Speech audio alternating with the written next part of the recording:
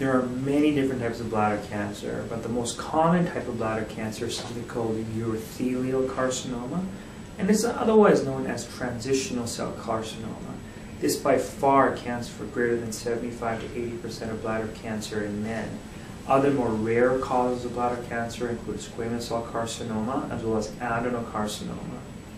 And the risk factors for squamous cell carcinoma are things like a chronic irritation, like a chronic indwelling catheter, or recurrent infections.